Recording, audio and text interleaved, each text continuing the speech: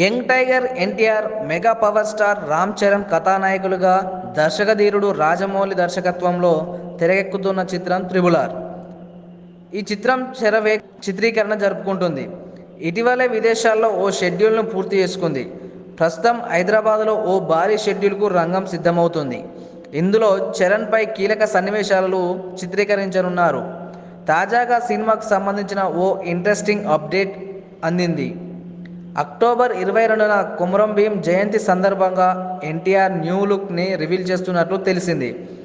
అయితే విషయాన్ని యూనిట్ అధికారికంగా ధృవీకరించాల్సి ఉంది. ఇందులో తారక్ కుమరం భీం పాత్రలో చరణ్ అల్లూరి సీతారామరాజు పాత్రలో నటిస్తున్న సంగతి తెలిసిందే.